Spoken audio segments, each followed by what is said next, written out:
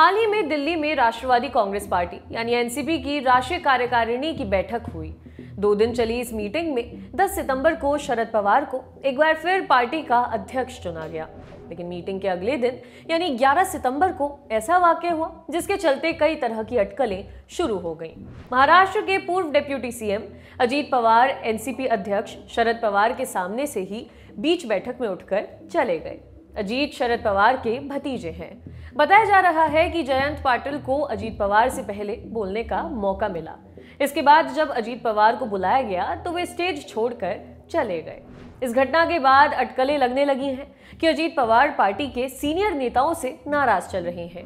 हालाँकि अजीत ने बाद में सफ़ाई दी कि वे बैठक में इसलिए नहीं बोले क्योंकि ये राष्ट्रीय स्तर की मीटिंग थी। पार्टी के सीनियर नेता प्रफुल्ल पटेल ने स्टेज से घोषणा की थी कि अजीत पवार, शरद पवार की अंतिम टिप्पणी से पहले बोलेंगे, लेकिन वे अपनी सीट से गायब थे।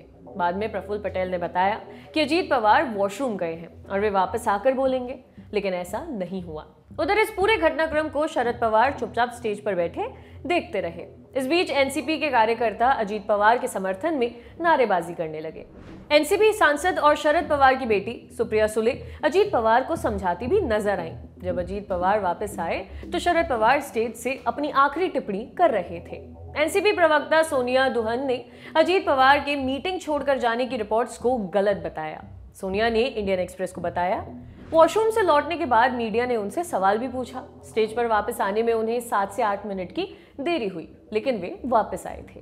अजीत पवार फ़िलहाल महाराष्ट्र विधानसभा में विपक्ष के नेता हैं। इससे पहले साल 2019 में अजीत पवार ने पार्टी से नाराज़गी दिखाई थी। महाराष्ट्र विधानसभा चुनाव के बाद शिवसेना एनसीपी और कांग्रेस गठबंधन बनाकर सरकार गठन की कोशिश में थे। लेकिन उससे पहले ही देवेंद्र फडणवीस ने मुख्यमंत्री पद की शपथ ले ली। सबको सरप्राइज़ देते हुए 23 नवंबर 2019 की सुबह फडणवीस के साथ अजीत पवार डिप्यूटी सीएम पद की शपथ ले रहे थे। अजीत पवार ने अपने साथ कई एनसीपी विधायकों के साथ होने का दावा किया था, लेकिन ये सरप्राइज़ सरकार सिर्फ़ 80 घंटे ही चल पाई, क्योंकि शरद पवार उन्हें वापस पार्टी के पक्ष में लाने में कामयाब रहे थे।